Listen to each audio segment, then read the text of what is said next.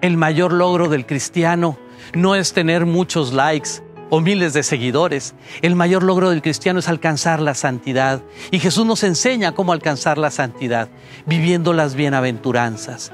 Pero vivir las bienaventuranzas es ir contracorriente. Y solo podremos vivirlas si el Espíritu Santo nos libera del egoísmo, la comodidad y el orgullo. Ser dichoso, ser bienaventurado es sinónimo de santo. ¿Quieres ser feliz? ¿Quieres ser dichoso? Vive las bienaventuranzas. Escucha las palabras de Jesús y hazlas tu norma de vida. Soy el Padre Marcelo, este es el minuto del Evangelio. El Señor te bendice.